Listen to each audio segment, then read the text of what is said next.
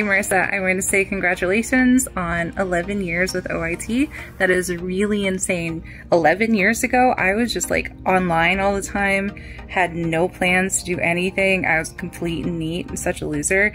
And you've literally just been improving that entire time, growing your skill set. That is incredible and shows such dedication and it's awesome. So I'm really, really honored to have been learning from you this whole time and be able to call you a friend. And I just really enjoy working with you.